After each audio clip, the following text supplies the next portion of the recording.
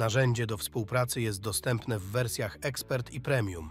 Umożliwia ono współpracę w czasie rzeczywistym między członkami zespołu projektowego, zapewniając aktualność udostępnianych informacji. W menadżerze projektu widoczne są wszystkie projekty wraz z łączami do funkcji współpracy. Ten znacznik pozwala sprawdzić stan synchronizacji projektu. Udostępniono mi go, ale nie został jeszcze pobrany na mój komputer. Ten projekt został przesłany do chmury i jest gotowy do udostępnienia. Pobrałem go na moje urządzenie, ale jeden z użytkowników wprowadził zmianę. Po udostępnieniu projektu adres e-mail nadawcy jest widoczny tutaj. Projekt został udostępniony, a jeden użytkownik wprowadził zmianę. Dane osoby, która pracowała nad projektem i zapisała go po raz ostatni, gdy był wyświetlany, można zobaczyć, umieszczając kursor nad kolumną stanu synchronizacji. W tym przypadku nie zsynchronizowano projektu z chmurą i jest on dostępny tylko na komputerze użytkownika. Przed rozpoczęciem pracy nad udostępnionym projektem upewnij się, że wersja dostępna na komputerze jest zsynchronizowana z wersją dostępną w chmurze. Procedura synchronizacji jest taka sama niezależnie od statusu projektu. Wybierz projekt i kliknij Załaduj. Po zakończeniu synchronizacji projektu w kolumnie stanu synchronizacji widać zielony znacznik wyboru.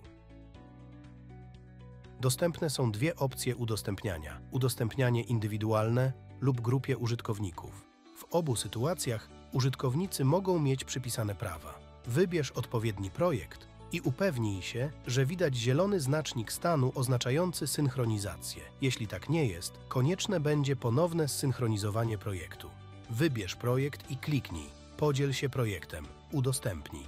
W tym oknie można udostępnić projekt grupie. Wybierz grupę i w razie potrzeby zmień uprawnienia dostępu użytkowników. Obserwator oznacza, że członkowie grupy mogą tylko przeglądać projekt. Edytor jest opcją domyślną. Umożliwia członkom grupy edytowanie projektu. Właściciel. Członkowie grupy mogą edytować i udostępniać projekt. Aby udostępnić projekt użytkownikom, wprowadź ich adresy e-mail w polu. Zaproś osoby do tego pliku i wybierz odpowiednie uprawnienia. Obserwator jest opcją domyślną. Użytkownik może jedynie przeglądać projekt, w tym koszty i ceny. Inną opcją domyślną jest obserwator, bez dostępu do cen. Użytkownik może jedynie przeglądać projekt z wyłączeniem kosztów i cen. Edytor. Użytkownik może edytować projekt, w tym koszty i ceny. Edytor bez dostępu do cen. Użytkownik może edytować projekt z wyłączeniem kosztów i cen.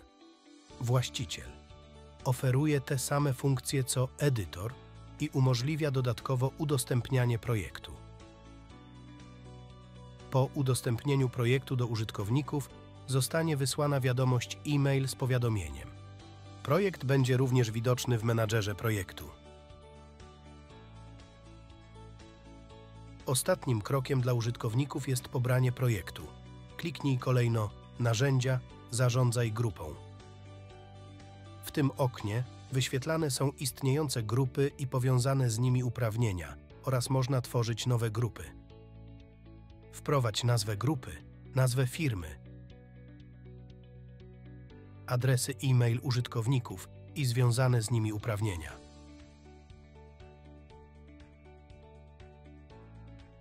Wybierz grupę, która ma zostać zaktualizowana. Zarządzanie grupami jest dostępne tylko dla administratorów. Wybierz użytkownika i zmodyfikuj jego rolę. Przypisz lub usuń jego dostęp do grupy.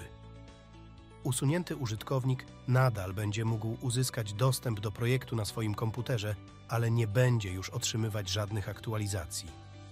Twórca grupy nie może zostać usunięty przez innego użytkownika. Kliknij Opuść grupę.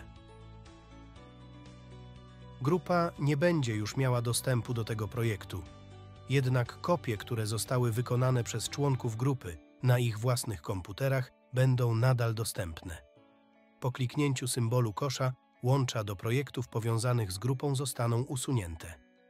Ta funkcja jest dostępna tylko dla użytkowników z uprawnieniami administratora.